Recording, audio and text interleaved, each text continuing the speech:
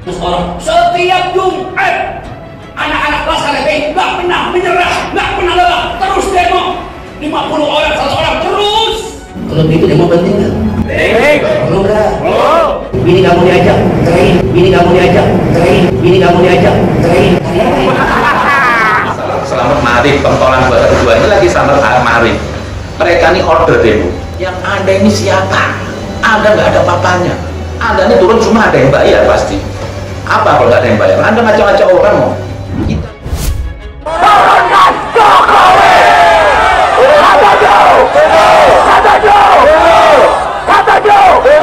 Kita akan turun lagi dengan satu tuntutan hilangkan yang tiga menjadi turunkan Jokowi.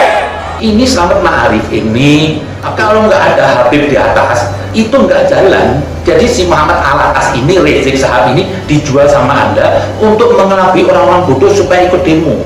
Sampai situ, kalau betul indikasi memalsukan ijazah terbukti berarti presiden telah melakukan perbuatan tercela dan wajib mundur dari presiden, saudara.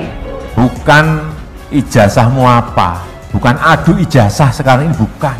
Adu keterampilan adu skill adu kompetensi Saya yakin apa? Sikap Jokowi ini semua sudah tepat kok. Jangan pernah dikasih tempat nih begundal-begundal ini. Orang-orang yang hatinya bengkok. Kalau kita lelah, mereka lebih lelah daripada kita, saudara. Kalau kita capek, mereka lebih capek daripada kita. Kalau kita pusing, mereka lebih pusing daripada kita. Saya tahu misi Anda di sini. Anda busuk, Anda dengki sama Jokowi, Anda sirik sama Jokowi.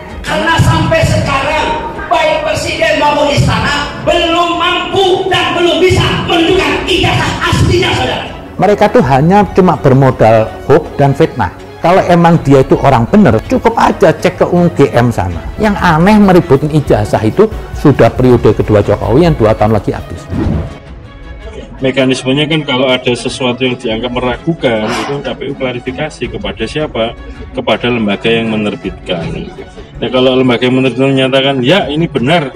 Murid saya mahasiswa saya nomor ijazahnya ini ini buku E ini buku induk registernya dan segala macam. Ya s- selesai.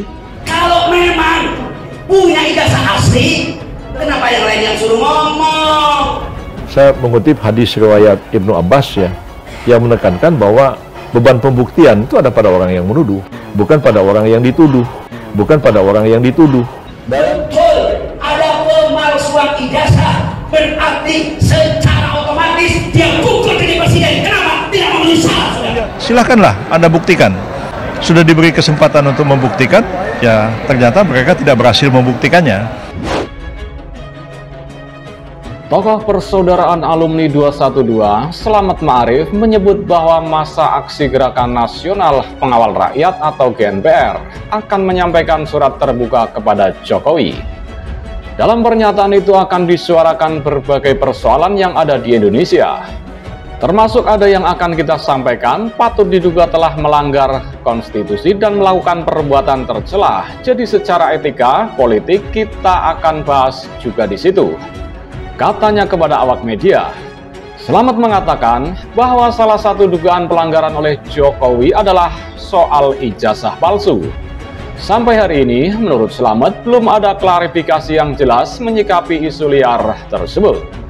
Yang sekarang beredar kan dugaan ijazah palsu. Sampai hari ini kan memang belum ada tanggapan dan jawaban dari istana ataupun presiden yang sampai saat ini belum bisa menunjukkan ijazah SD, SMP, dan SMA sampai perguruan tingginya. Sehingga patut diduga ada indikasi itu, ada kebohongan dan perbuatan tercela, tuturnya. Dan kita kalau mau coba tempelkan itu, seyupianya untuk mundur. Salah satunya itu, selain faktor ekonomi dan faktor beberapa pelanggaran HAM yang selama ini terjadi, tegasnya. Lebih lanjut, Selamat mengklaim telah melayangkan surat pemberitahuan ke Polda Metro Jaya mengenai aksi 411 disebut bakal ada ribuan orang yang menghadiri aksi unjuk rasa itu. Insya Allah ribuan. Yang jelas, tadi kan kekuatan keamanan sendiri kita kerahkan 1000. Tenaga medis ada sekitar 100, kemudian tim logistik itu sekitar 300 karena ada di lapangan. Jadi insya Allah masa di atas itu jelas dia. Merespons hal itu, Duriah yang memiliki keturunan Nabi Muhammad Shallallahu Alaihi Wasallam, Habib Sen Asegaf alias Habib Kribu, mengkritik keras rencana unjuk rasa 411 yang dilakukan oleh sejumlah pentolan Front Persaudaraan Islam atau FPI yang tergabung dalam Gerakan Nasional Pembela Rakyat atau GNPR. Unjuk rasa itu untuk memprotes kenaikan harga bahan bakar minyak atau BBM. Dalam video itu, Habib Keribu mengatakan sangat tidak pantas jika seorang mengaku Habib atau ulama turun dan teriak-teriak di jalan. Kenaikan harga BBM, kata dia, jelas sudah ditimbang matang-matang oleh pemerintah. Jadi tak semestinya aksi unjuk rasa itu dilakukan, apalagi sampai mengancam bakal menginap di lokasi unjuk rasa. Masa ngaku kiai, ulama, ngaku Habib di atas mobil teriak-teriak, turunkan harga BBM sampai mengancam nggak bakal pulang. Lah ini memang negara bapakmu, negara ini punya peraturan semua yang harus ikut. Kita bukan tinggal di hutan, kata Habib Keribu. Habib Keribu mengaku heran dengan masyarakat yang selalu menuruti perintah pemuka agama yang hobi bikin onar, semacam risik siap. Dia bahkan tak segan menyebut mereka sebagai Islam jalanan yang kerap mencatut nama Tuhan untuk kepentingan diri sendiri dan kelompok tertentu.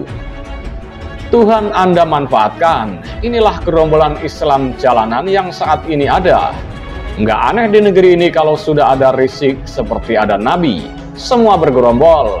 Saya malu aja lihat kok Islam jadi begini, tegasnya. Habib Keribo lantas menantang para loyalis Rizik Sihab itu untuk tidur di jalanan tanpa harus mengajak masyarakat yang tak tahu apa-apa. Pakai mau nginep di jalan. Kalau Anda mau begadang, nggak usah di situ. Nggak usah ngajak-ngajak orang. Anda tidur sendiri di depan Senayan. Kalau Anda tidur sendiri, saya kagum. Tidur sendiri pakai sorban. Tuntasnya. Diberitakan sebelumnya, sejumlah pentolan Front Persaudaraan Islam atau FPI yang tergabung dalam Gerakan Nasional Pembela Rakyat atau GNPR mengajak masyarakat mengepung Istana Kepresidenan di kawasan Medan Merdeka Utara, Jakarta Pusat. Dalam sebuah aksi unjuk rasa yang bakal digelar pada Jumat 4 November 2022. Demonstrasi bertajuk Aksi Bela Rakyat atau Akbar 411 itu merupakan aksi lanjutan di mana kelompok ini sebelumnya sudah tiga kali turun ke jalan menuntut pemerintah menurunkan harga bahan bakar minyak atau BBM. Selain itu mereka juga mendesak agar menegakkan supremasi hukum. Dalam aksi lanjutan ini, GNPR juga mendesak agar Presiden Joko Widodo atau Jokowi segera angkat kaki lantaran dinilai gagal memimpin negara ini. Kami akan melakukan aksi bela rakyat keempat ini, komitmen GNPR untuk membela rakyat. Kata Ketua Umum Front Persaudaraan Islam, Habib Muhammad Alatas. Habib Muhammad Alatas menyebut hingga sekarang ini tuntutan mereka dalam aksi sebelumnya tak pernah dipenuhi pemerintah.